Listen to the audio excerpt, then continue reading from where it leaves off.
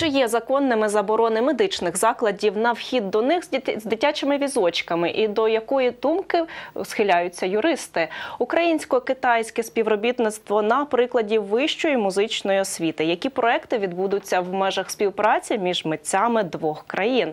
Як досвідчені музиканти ставляться до трендів у сучасній українській музиці і чи відчувають конкуренцію з молодими артистами? Про ці важливі та актуальні теми впродовж години прямого ефіру. Це програма важливо про вітаю вас.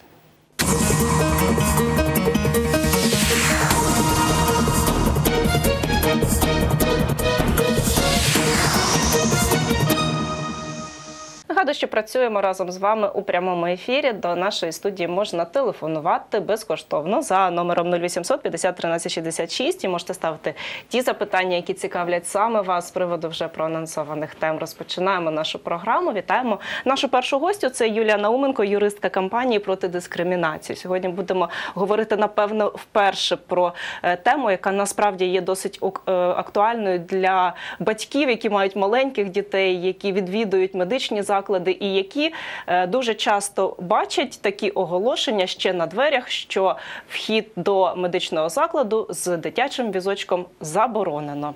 Е, Наскільки ця ситуація дійсно є? е, Законною чи незаконною, зараз про це будемо говорити, тому що тут насправді є вже і судові процеси, так які стосуються цього питання, і наскільки самі батьки вважають такі дії неприпустимими. Так, в дійсності така проблема є, і така проблема є навіть в Києві. На щастя, не в усіх медичних закладах ми маємо дуже гарні приклади, коли ти приходиш, ставиш коляску, береш, отримуєш е, номер цієї коляски, один кладеш в візочок, е, інший береш з собою. Але є такі приклади, коли в дійсності ні великі поліклініки, як то Голосіївська, проти якої ми подали позов, ні маленькі амбулаторії не дозволяють входити саме з візочками, з маленькими дітьми і зав- завозити туди візочок, оскільки вони вважають, що це. Мішає їм, то потрібно мити, потрібно ще щось робити. Тобто це заважає працівникам медичних закладів зазвичай. Вони вирішують повісти таку об'яву, робіть, що хотіть, ідіть ще до на етапі лікаря. спілкування десь з прибиральницею виявляється, що так е, робити не можна, і що взагалі можуть е, ну попросити вийти, так тому що тому що ось ну не можна. Так, е, насправді зараз ми маємо таку ситуацію, що ДБНами передбачено е, майданчик для дитячих візочків перед е, приміщенням поліклініки або амбулаторії. Але чи є це виходом? Але чи є це виходом? По-перше, по-друге, навіть навіть цього немає в амбулаторії, на які ми скаржимося. Вони кажуть, що земельна ділянка не в них у власності, не в оренді, вона належить мешканцям будинку, і тому вони не мають там облаштувати, не можуть змоги. Е, І ми маємо таку ситуацію, що ані всередині не можна поставити. Ані немає якогось е, майданчика з кришею, з е, замками якимись, де можна поставити візочок. Але насправді це теж не вирішує проблему, е, оскільки зараз ми все ж таки маємо трохи інше відношення, ніж в Радянському Союзі, до жінок, і до чоловіків, які приходять е, з візочками для надання медичної допомоги. Ми все ж таки хочемо, щоб наші батьки були більш мобільними е, зі своїми дітьми, і щоб вони не обмежувались походом до лікаря, наявністю батька або відсутністю батька, тому що тягнути на собі дитину не дуже зручно, а візочок можуть або вкрасти, або, наприклад, якщо ти його залишиш, то незручно дитину роздягати там на холоді, тягнути всі ці речі. Тобто це є певною проблемою саме в- доступі до медичної допомоги. Тобто наші батьки вимушені обмежуватись в таких ситуаціях, в якихось своїх діях, щоб сходити до лікаря. Тому, е, звичайно, це протирічить не стільки самому ДБН, скільки загальним правилам надання медичної допомоги і Конституції України, е, закону щодо недопустимості дискримінації, оскільки ми вважаємо такі дії саме дискримінаційними, тому що батьки, які е, заходять до медичних закладів з дітьми у візочках, вони фактично не мають доступу рівного з іншими на надання медичної допомоги. Чиї саме інтереси ви представляєте в суді, і коли цей судовий процес розпочався? До нас, е, до компанії з протидії дискримінації, звернулася ініціативна група батьків. Е, В них є навіть група в Фейсбуці. Вони дуже активно цю тему відстежують, обговорюють. Це е, Київ доступний для батьків. І ми виявили саме взяли активних батьків, які погодилися подати позов, піти свідчити до суду в разі необхідності і виступати позивачами, оскільки в них були маленькі діти. Вони дійсності були поставлені на облік в цих пол- поліклініках і користувалися візочками. От то саме вони у нас були позивачами, і для, скажімо так, щоб сформувати практику, ми взяли три найбільш таких кричущих випадки порушення доступу до медичної допомоги, звернулися до суду, е, зібрали певні докази, тобто це і відеофайли, де видно, що е, в деяких випадках є, наприклад, пандус, але двері. З цього входу вона зачинена. І потім ще вивесили об'яву про те, що це тільки для людей з інвалідністю. Тобто мама вимушена по цих сходах тягнути, намагатися зайти і потім ще отримати відмову. Мало того, що воно на дверях написано, то ще й працівники цьому перешкоджають. От ми все це зібрали, е, просили допитати свідків, фотографії цих об'яв і відповіді, звичайно, від медичних закладів, які повідомляли, що немає в них змоги, в них маленький тамбур, в них немає земельної ділянки, щоб це зробити. І все це як доказ ми надали до суду. Заперечень з боку департаменту охорони здоров'я, який саме має контролювати дотримання прав е, в сфері охорони здоров'я, дотримання законів та фінансування здійснювати медичних закладів, е, і від Київської міської ради, яка є власником цього майна, яка утворює безпосередньо медичні заклади, не надійшло цих заперечень. Медичні заклади надали аналогічні заперечення, які вони нам надавали в відповідях про те, що у них немає змоги. А в Голосіївської є облаштований майданчик перед е, поліклінікою, тому якби питань не має виникати.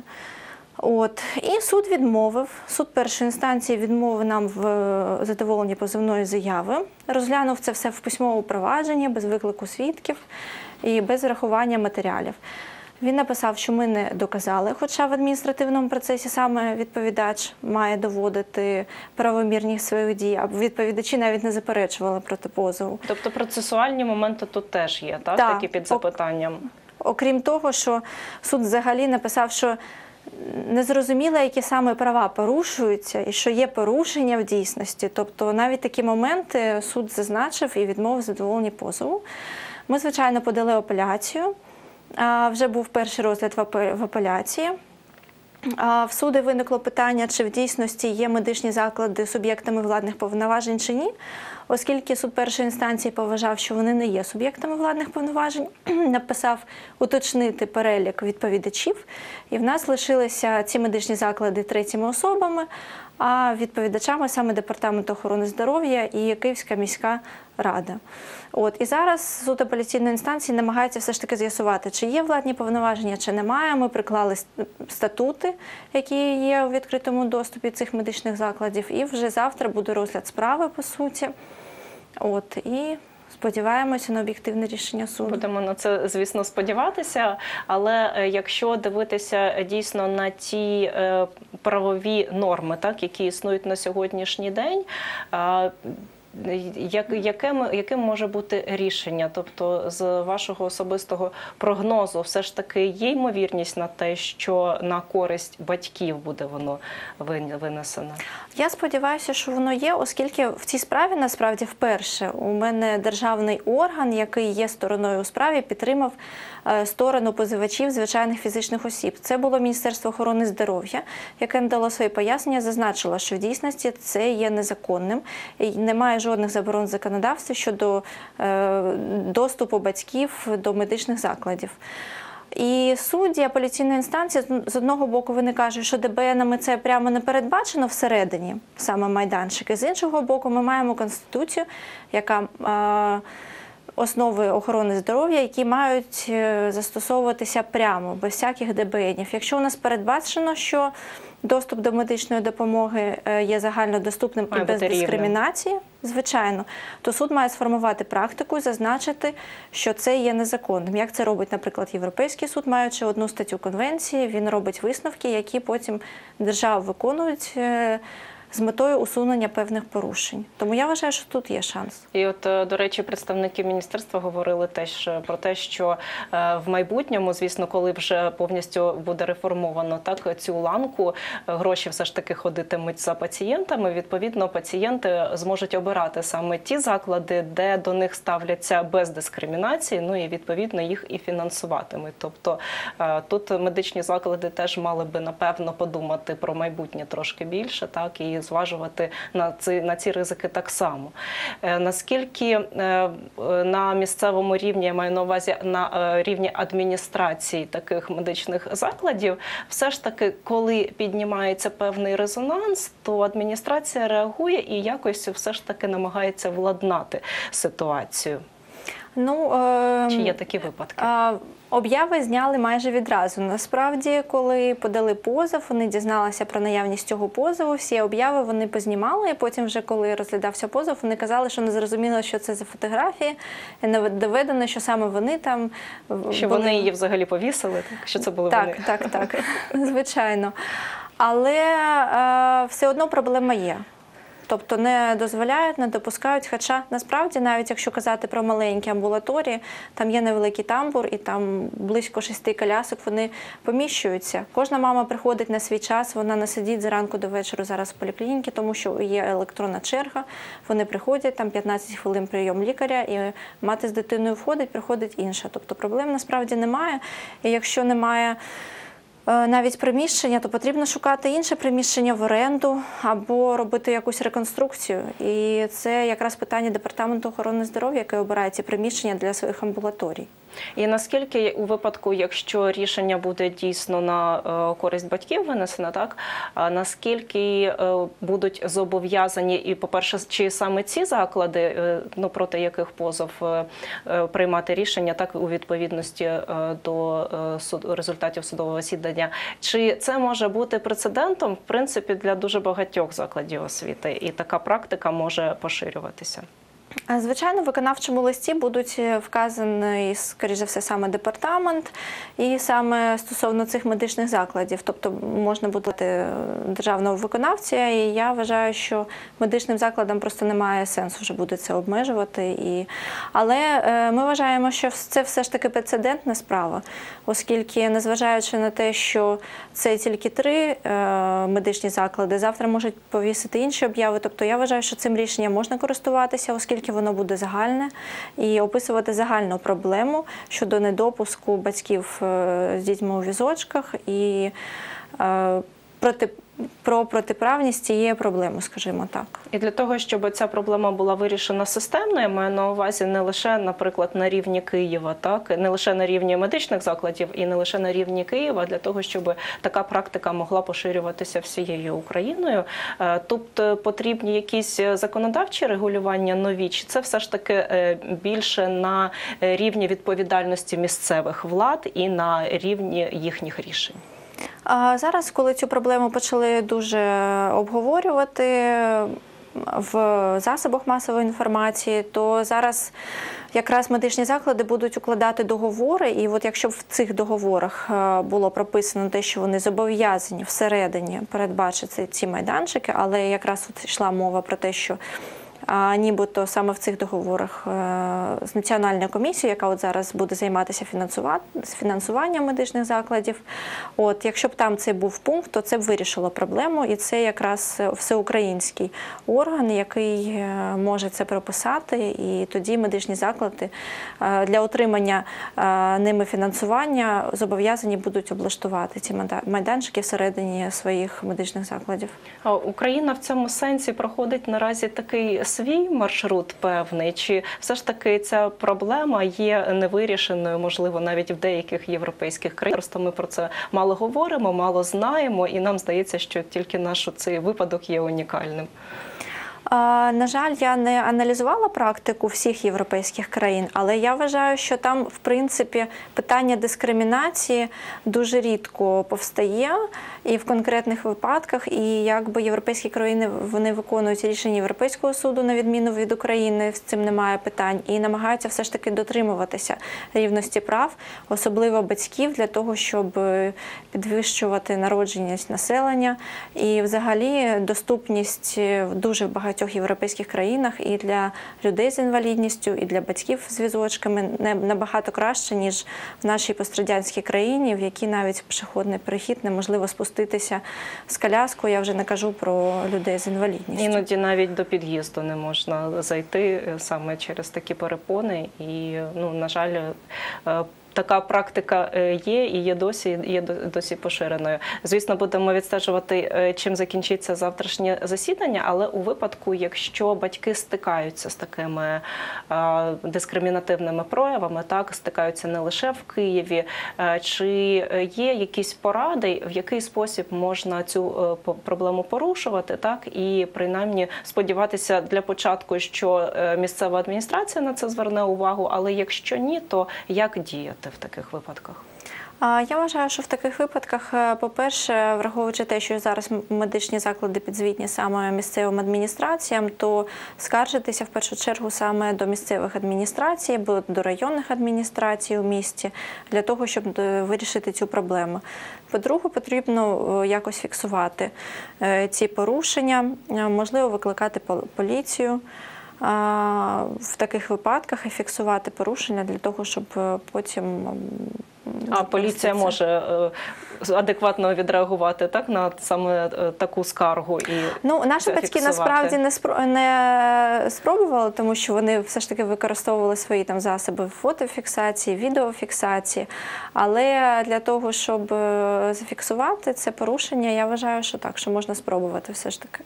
Тобто склад там точно є, і поліція не має права, наприклад, відмовити так в тому, щоб виїхати на місце і е, зафіксувати. Так, ну як мінімум рапорт, вони, скоріш за все, потім після цього виклику складуть, який там може бути як доказ при подальших якихось оскарженнях цих дій, або м, написанні скарги щодо недотримання медичними закладами е, там, рівноправності громадян і всього іншого. Ще трошки зовсім часу у нас залишається, але дуже хочу поцікавитися взагалі кампанія проти дискримінації. Що це за об'єднання, і саме з якими скаргами громадяни можуть звертатися до вас і ваших колег? Угу. Це проєкт е, громадської організації Центр соціальна дія, які якраз займаються питаннями дискримінації в усіх сферах: і людей з інвалідністю, і ЛГБТ-спільноти. І е, таких от порушень, як ми зараз. Тобто є гаряча лінія, є, е, ну, є телефони мобільні, є звернення на сайті, які можна лишати, на які можна отримувати відповіді. І в разі наявності певних е, справ цікавих, тобто в регіонах або в місті Києві компанія розглядає ці справи і іноді може надати правову допомогу у супроводженні цих справ з метою усунення порушень.